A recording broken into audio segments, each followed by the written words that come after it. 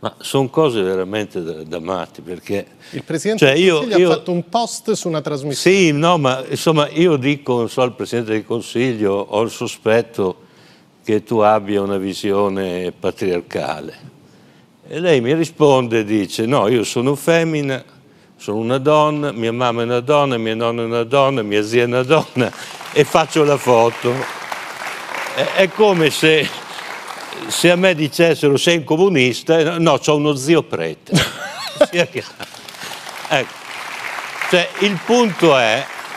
Sei razzista questo, un amico nero, cioè una lunga. È, il punto è che non accettano le, non accettano le critiche, cioè hanno la pelle sottile, fanno le vittime su qualsiasi osservazione. Ma insomma, se non accetti le critiche, non far quel mestiere lì. Ti chiudi in casa con la famiglia e la tua fazione. Eh, Sa cos'è però? Cose. Non è che non accettano le critiche, secondo me sono furbi, cioè le utilizzano. Guardi, innanzitutto c'è una lunga tradizione, guardate questo cartello, il 10 eh, non è certo la prima Giorgia Meloni, abbiamo avuto, Meloni aveva già detto Saviano, hai fatto milioni sputtanando la tua città, Salvini aveva detto belli ciao a Fazio e Tizzetto, Renzi, Travaglia un pregiudicato, Berlusconi e avremo ospite a breve anche Michele Santoro, ricorderemo i bei tempi diciamo in cui sceglieva. Allora, si inserisce, è una tattica questa, è una strategia o è proprio un atto emotivo, di, vede la televisione e dice ora scrivo come fanno i... No, ma semplicemente eh, il vittimismo è l'altro lato dell'aggressività.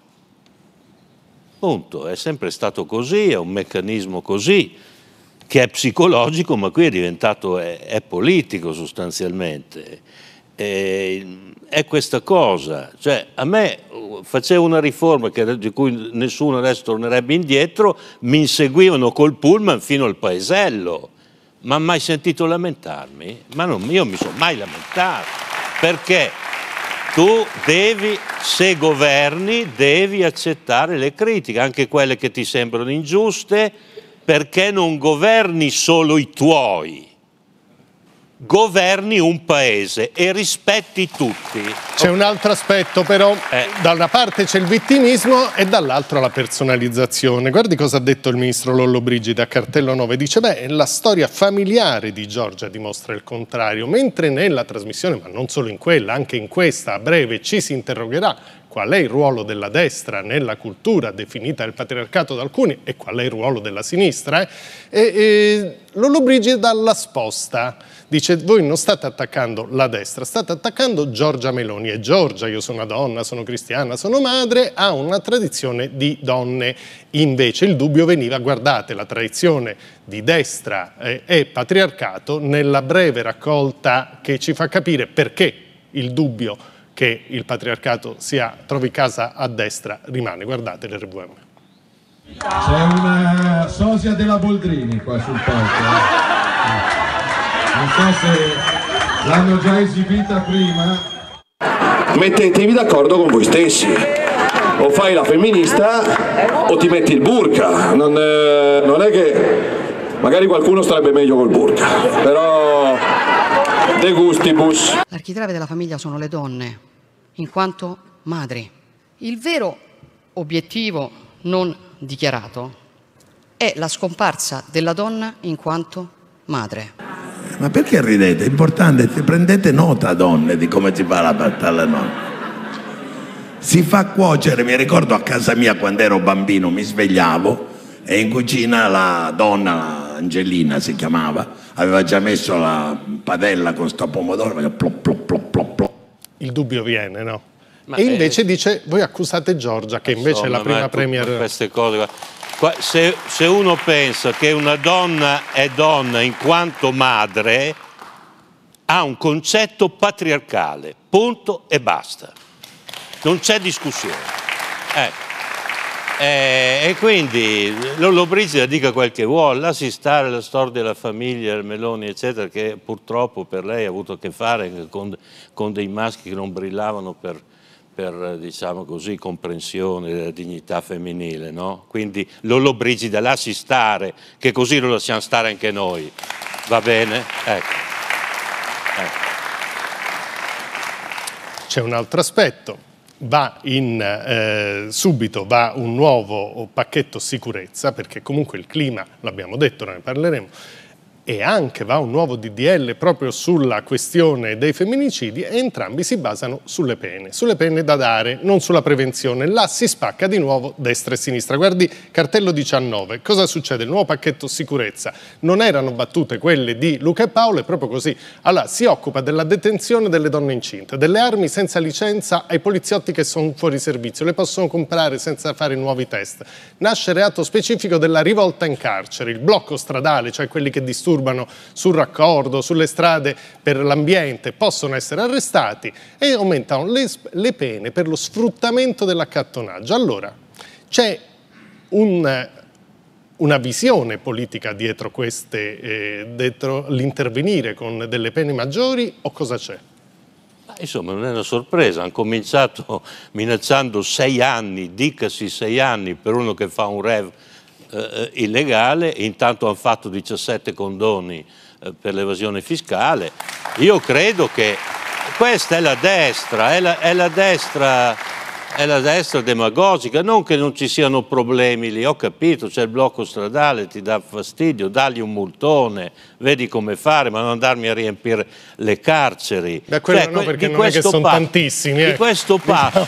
No, non è che tutti di questo, incontrano... Eh, di questo passo e la strada è segnata, no? alla fine della strada eh, fucileremo i barboni e daremo il cavalierato del lavoro agli evasori fiscali.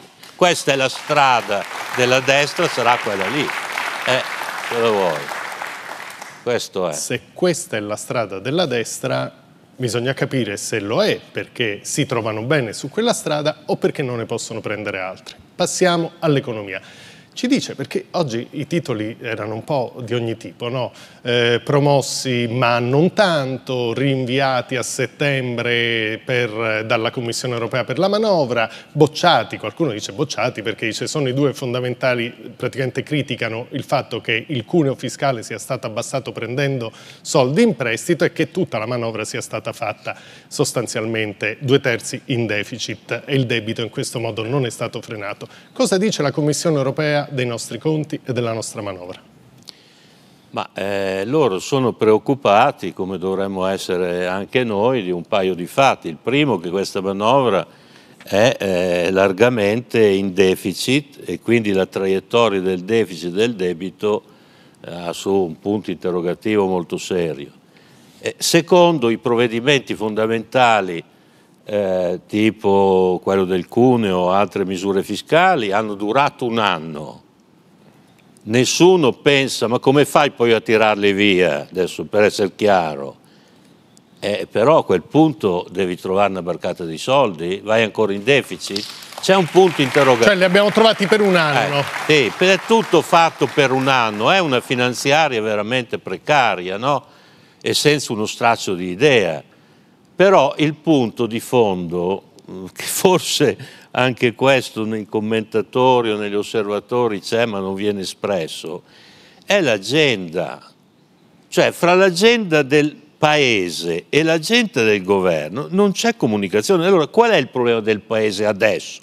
La crescita è sullo zero, la produzione industriale si ferma, i redditi e i salari sono bassi, la sanità barcolla, la povertà assoluta cresce di un'altra milionata, l'agenda del governo è mi, mi, maneggio la Costituzione col premierato, invento che risolvo le migranti con l'Albania, eh, metto le dita negli occhi ai sindacati, faccio queste cose qui, sicurezza.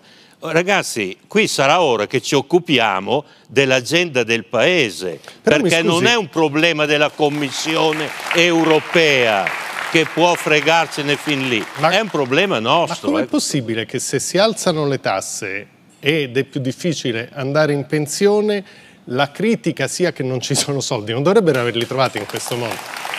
Vabbè, ma...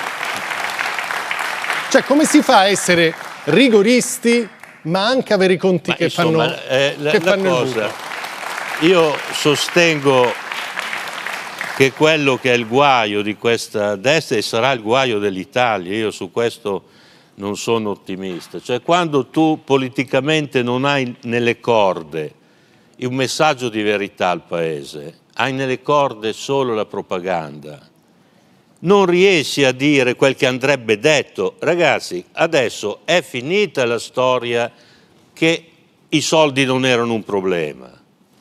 Adesso sono un problema. Se noi non risolleviamo i consumi sui redditi e sui salari, noi la ripresa non la incroceremo mai. Allora bisogna prendere questi soldi. Dove? Eh, ragazzi, io non lo so, ma si sono cacciati sugli extra profitti, è venuta fuori una farsa colossale.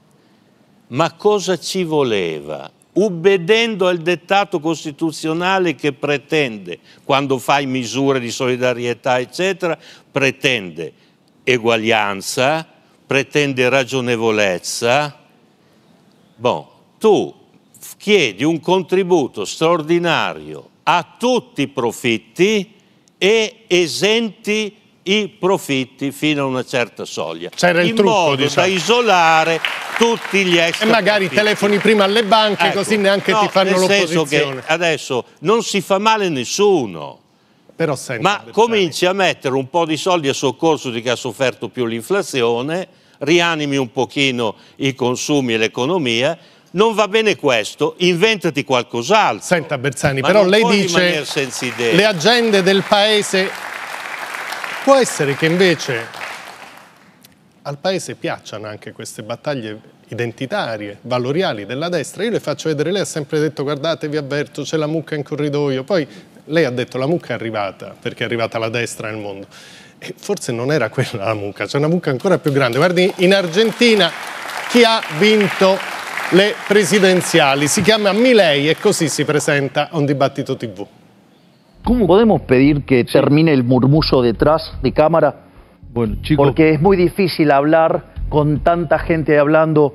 eh, son temas muy delicados y veo que no cesan de hablar a pesar de mis cambios de tono. Así como hay un salame o tres salame opinando desde una computadora, ¿sabes qué?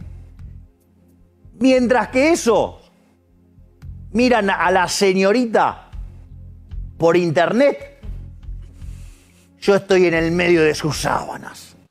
Cioè, questo si è presentato, presumo, ubriaco alla... e la gente l'ha, l'ha votato.